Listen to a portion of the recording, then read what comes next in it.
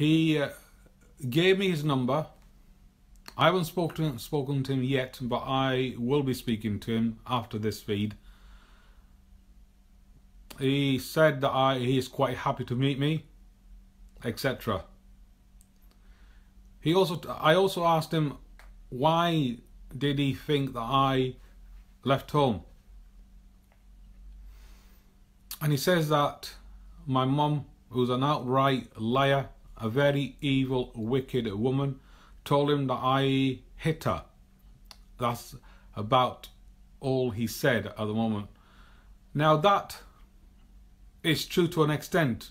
I did hit her and for very good reasons as well. I was only, what, 17, 18, I don't know. I, I was, I don't know. Um, but it's all in the book. Everything is in the book.